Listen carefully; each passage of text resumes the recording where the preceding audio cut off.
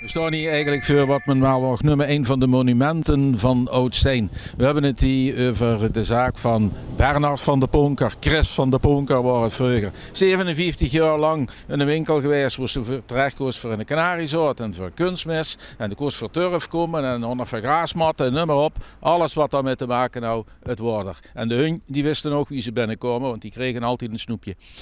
De zaak gaat dicht en dat zullen we in Steen ongetwijfeld kunnen merken. Na 57 jaar is het goed geweest. Chris en Yvonne zeggen bij hun eigen van we willen ongeveer een keer de andere kant van het leven zien. En ik denk dat ze daar heel wat gelegen hebben. We gaan eens kijken binnen.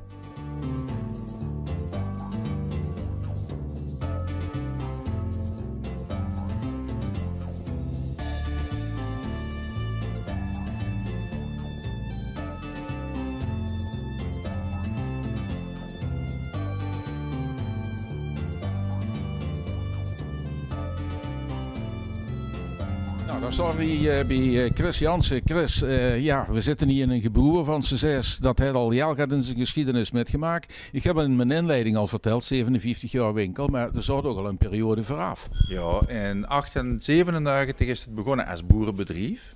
En vrij kort daarna is het een graanmalerie geworden. Daarna is in principe in 1965 dat winkeltje erbij gekomen. Maar in principe eigenlijk altijd wel bezig geweest met agrarisch en deren. Ja, en al die jaren, dus terugkijkende, ja, dat heb zich niet allemaal gedaan natuurlijk. Dat ging niet. Uh, zelf de zaak al een hele tijd, Vurdig de pap, Bernard. Klopt, het is uh, eigenlijk begonnen in 1930 met de pap. En vanaf ja, 50 jaar geleden ben ik aan de gang. Dat is uh, 2000 nuggetje hongert uh, nog gaat. Ja, in ieder geval, toen heb zich dat al overgenomen. En de pap, daar houden we het weer van? Van zijn, uh, van zijn vader. Ja, dus dan mag je wel zeggen een echt familiebedrijf. Jawel, zeker. En daar houdt weer van zijn vader. Ja. Tussendoor is er ook nog heel even café in geweest.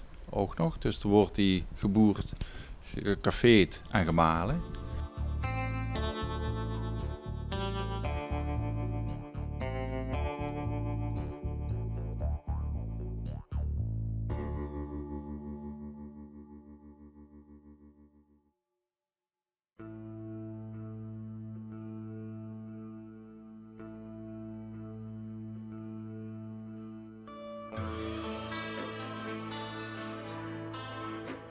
Langzamerhand doet gegroeid tot wat het nu is. Maar toen we al vuil gesneurd, die, dat is nog immer. Nog immer, zeker. Dat is uh, binnen elke dag nog wel aan de orde. Ja. Zeker. Maar dat is ook de, het, het charme van het bedrijf. Oh, zeker wel, dat het gaat. Absoluut. En ik ga dat zeker ook wel missen, toch? Ja. Want daar wou ik eigenlijk naartoe. Dan, hebben ze, dan sluit ze eigenlijk zo'n familiebedrijf af. Ja, ik denk een bedrijfsleden is lastig. Bedrijf een bedrijf wat eigenlijk op in een hele familie zit, is natuurlijk helemaal moeilijk. Ja, zeker. Ik denk dat het bedrijf beginnen makkelijker is als het bedrijf beëindigen. Ja. Zonder meer. Ja. En het heeft toch wel het voet en de aarde, ook zeker als het fatsoenlijk was achterlaten. We hebben in elk geval zorg gedragen dat altijd wel weer ergens die producten te krijgen zijn, weer eigenlijk een beetje uniek in worden. Ja. Dus dat is dan wel gebeurd. Ja. Dat hebben ze ene zoon, maar dat had niet, uh, want toen zullen jullie gaan zeggen van ja, waarom het uit niet durven komen? Want dat is de makkelijkste vraag natuurlijk. Ja, precies. Nee, dat is in principe een, een redelijke gooi baan. Ik zeg redelijk omdat misschien zijn de baas mee kijkt. maar hij heeft in, in, in, principe eigenlijk een, hele fijne job. En hij is single, dus wat dat dan. En dit moest hij eigenlijk wel met z'n tweeën doen. Minstens met z'n tweeën, eigenlijk nog wel met z'n drieën. Want voor dit interview hebben we een tijdje gestangen, maar het gaat geduurd voordat ze tijd voor een saus hebben, want de lukt gaat in en hoed op een dag. Hè? Ja, gelukkig wel. Ik heb wel eens lekker gezegd van het liep wel alsof we de kip met de gouden eieren slachten. Ja. Maar wat me dan ook opvalt, is dat klanten uh, ja, min of meer een beetje ontroerd zijn. Er wordt uh, handjes gegeven, kusjes gegeven, enorme goede wensen toe. Dat moet ik toch goed doen eigenlijk? Oh jawel, zeker. Meer complimenten kan ze eigenlijk niet hebben. Ja. En eigenlijk vult dat ook, we kregen zoveel verren in ons kont gestoken, dat we eigenlijk binnen niet meer kunnen zitten. O jee, dat wordt natuurlijk wel pijnlijk, want het is eigenlijk wel dadelijk de bedoeling dat ze het meer kennis kunnen zitten. Ja, zeker. Maar ja, ik gewoon nog een stukje door met de vrachtwagen, met de graasmat en bloemendrek. Op zaterdagmorgen zijn we eigenlijk altijd nog open. Dus wat dat dan gaat, is het niet helemaal aan de. Ja, Vond ik het een stuk rustiger. Dus ik gewoon nog even door. Dus in ieder geval, ja, dan kunnen we, wat ze zegt, dan kunnen we een stuk rustiger aanzetten. Ja. Is er enige invulling voor de tijd? Oh, zeker. Hierboven zit een hobbypandje, dat hem gewoond. Dat staat inmiddels al 20 jaar leeg. De bedoeling is om er een appartement van te maken. Maar ja, god, en als je rondkijkt, zie je zat te doen. Ja. Dus in Denger heb ik eigenlijk nooit geen tijd voor gehad. En ja, dit eigenlijk allemaal een beetje is als wie het zou willen. Ja, ja dan moet nog zeker nog wel 20 jaar. Ja. Dus je eigenlijk van de raceversnelling dan gaat rustigere versnelling. Een beetje bij aangepast in de leeftijd. Ja, leger toerental. Ja, goed. Dat vertrouwen op een leger toerental, maar houdt dat wel nog in de tijd vol? Oh, zeker. Zeker weten.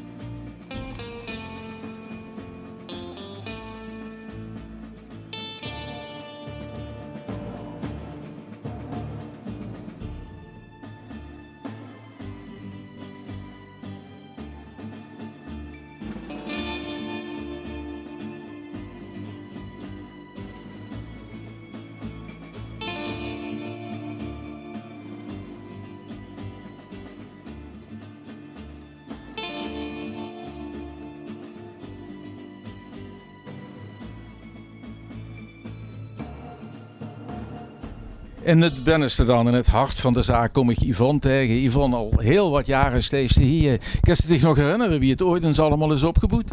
Ja, zeker. Kijk, de, de indeling is een beetje hetzelfde zoals het nu is. Er is bijna niks aan veranderen. Nee.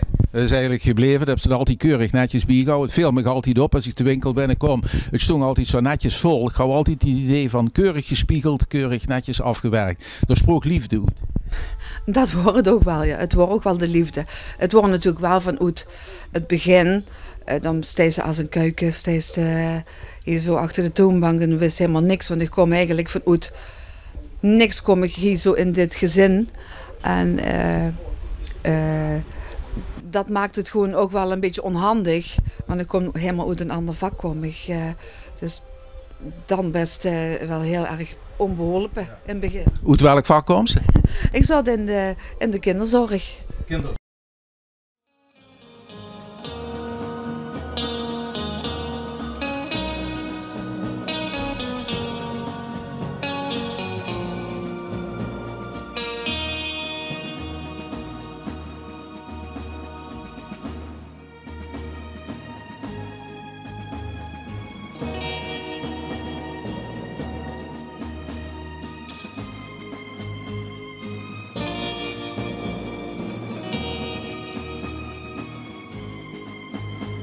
Ja, dat, ik kan me voorstellen dat het een hele moeilijke startperiode is. Dat wordt het ook. En zeker ook omdat ik alle, ik kom uit een ander dorp. Dus het, worden, het, het Steense wordt voor mij al het wordt top en een Geert en, en allemaal die, die eh, dingen die klapt, eh, klapperde ik flink met mijn, uh, met mijn oren. Ja. En, uh, dus het wordt allemaal winnen en allerlei dingetjes. Het wordt, ja, het wordt echt wel winnen. Ja, want in de praktijk is het natuurlijk zo dat daar nou dan allerlei lui komen met allerlei vragen. En dan, dan moesten toch maar allemaal weten waar het dan vandaan komt. Hè. Dat, kan me inderdaad voorstellen niet zo makkelijk.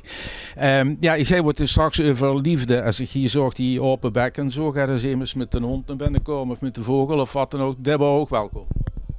Ja, heel graag. Dat wordt, uh, dat, dat wordt heel graag welkom. Dat heb ik inderdaad best wel met enthousiasme gedaan. En ik heb natuurlijk een, aantal trainingen gehad, waardoor ik uh, um, een, een beetje kennis opdeed of, of een beetje ervaring op ging, ging doen. Dus als de, ja, dat was zeker, uh, ja. En nu een hele drukke business achter de rug, eh, Bino. Hè. We zijn nog niet zo wiet natuurlijk, hè. het gaat nog wel even verder. Maar uh, ja, heb je al een tijdinvulling? Die kreeg ik wel om. Ik heb ze nog geen, geen zicht, maar daar maakt zich geen zorgen nee, Die absoluut niet. We hebben hier boven op de zolder een oude dekentjes uh, gevonden. En daar zit, daar zit flink wat houtworm in. En daar gewoon ik opzoeren, daar gewoon ik uh, verven. Ik heb nog een mama van 98 jaar en die vroeg eigenlijk ook wat meer aandacht voor mij of die willen geven. Ik, heb, uh, ik ben een creatieve dame. Uh, wat dat betreft maak ik me echt absoluut geen drukte. Nee. Maar het punt is wat meer eh, eh, ik ben natuurlijk ook een sociaal dingetje. En uh, door, dat zal ik wel gewoon missen. Het is, want ik heb een hele leuke klantenkring opgebouwd. En uh, het is wel een heel gezellige, gezellig winkeltje. Ik zeg altijd maar zo, ik heb maar drie brombeeren en de rest zijn dan mijn leuke klanten. En, uh, dus die liefde, die is er wel.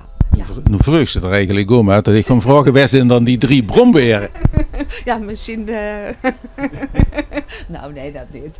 Maar, nou, die zijn er wel, maar dat zijn maar drie bromberen. Dus nou, die, die, dat, dat kunnen we dan wel handelen. En dan als het eindelijk komt, denk van... Nou, dan doen we voor ons een beetje afwisselen en zijn pak tegen maar. En dan uh, zo die hebben we gehad. En dan komen alleen maar die leuke klanten weer aan. Kijk, maar nu kan je dus eerst wel het sociale gewoon niet meer. Maar ik kan me wel voorstellen, als straks het zoals in de kop halen om middag naar de markt te gaan, dat de markt al lang gesloten is, dan steeds ik nog toch? nou, zo erg is dat niet. Nee, dat geloof ik niet. Maar ik denk toch dat toch heel veel jullie even een praatje willen maken. Oh, zo ja. ja ik, dat, dat hoop ik wel, ja. En als ik me zo gewoon vervelig had tegen Chris gezegd, mm, dan zetten we hier een bankje voor de deur en dan gaan we toch lekker, uh, uh, dan, dan gaan we zwaaien naar de mensen. ja. ja. Nou, dan hebben we in ieder geval al die jaren, mocht ze gewoon zeggen, dat is uh, genieten van, van de rust, zoals het dan net, beperkte rust, zal we zeggen. Um, morgen in ieder geval namens heel Steen danken voor de vele jaren dat ze hier uh, gestangen hebt. En dat ze een ieder te woord gestangen hebt, zowel mens als dier. Nou, dat is een heel mooi compliment. Dankjewel.